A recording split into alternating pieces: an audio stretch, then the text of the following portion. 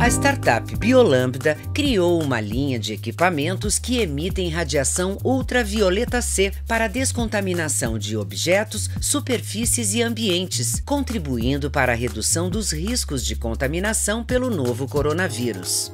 Um desses equipamentos é o UV Mask para descontaminação de máscaras de proteção N95 ou de tecido. Em 5 minutos, a tecnologia pode desinfectar até quatro máscaras. Já a versão manual do equipamento é utilizada para a descontaminação de objetos e equipamentos em consultórios médicos. Com apenas um segundo de exposição à radiação ultravioleta, é possível inativar mais de 99% dos vírus.